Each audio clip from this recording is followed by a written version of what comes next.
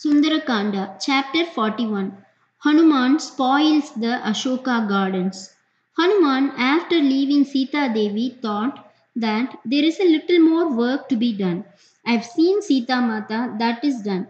Now there are four ways to approach the rest of my mission, namely um, Sama, a peaceful approach, Dana, bribery or financial assistance, or Beda, comparison or disparity which will not work with the de- demons. Beda or comparing Ravana with anyone will not motivate him because Ravana is already one of the greatest kings. Danda, the fourth way, punishment or fighting is the only way. Ravana is stubborn, so a peaceful approach will not work.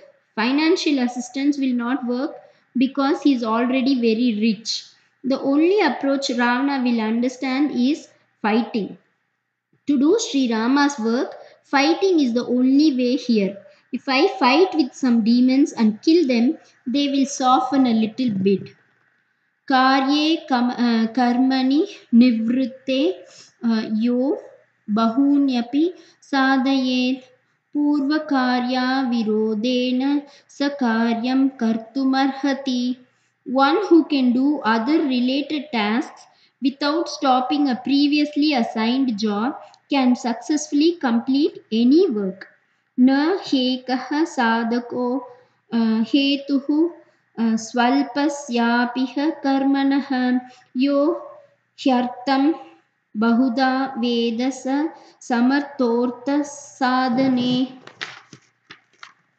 There is more than one way to do even a small task. One who knows several ways to do a task can successfully complete it. I have to assess Ravana's strength.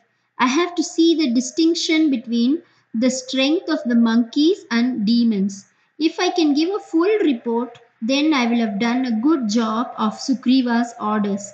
If I can fiercely fight them, only then can I compare my strength with theirs.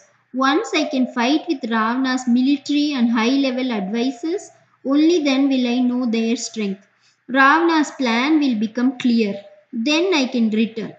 This Ashoka garden seems to be wonderful and beautiful with a variety of trees, fruits, flowers, and plants.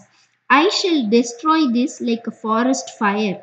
If I ruin and destroy this garden, Ravana is sure to get angry and send an army of horses and soldiers with multiple weapons and arms.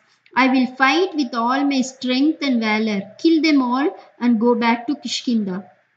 After much thought, Marutatmaja exploded with anger and energy and started uprooting and pushing up tall trees.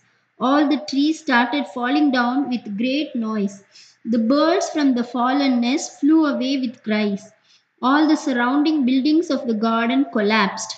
The steps to the ponds were all gone. The once beautiful garden looked like a destroyed forest. The snakes started coming out freely. The luxurious, pleasant garden was ruined. After destroying everything, Hanuman reached the outer gate of Ashokavana.